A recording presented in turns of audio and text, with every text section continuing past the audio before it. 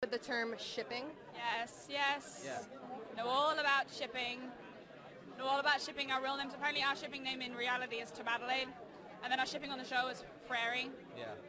You have a real life shipping name and a show shipping name. Yeah, the fans desperately want us to date and it's just never going to happen and I, they're just going to have to live with... Don't say that. Oh, we'll break their hearts. They'll be like, no! Um, no, we're married on TV and that's... As actors, though, how does it feel to kind of be on the other side of fans, want, like being so in love with your character's love? It's really cute.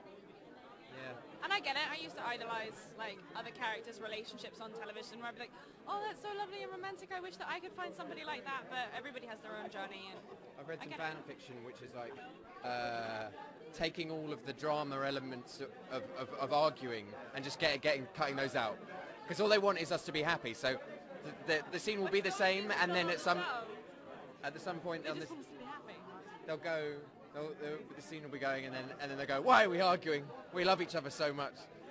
I love that they take out all your suffering, which is kind of the big part of the story. Yeah. Yeah, is how much it sucks to be like royalty and married and in love at the same time.